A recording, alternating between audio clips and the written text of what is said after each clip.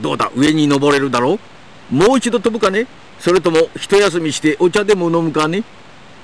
ああ一度にできるといいんだけど。でもその素敵なスーツにお茶をこぼされちゃ嫌でしょ？ここは大ジャンプだ。まず私がやろう。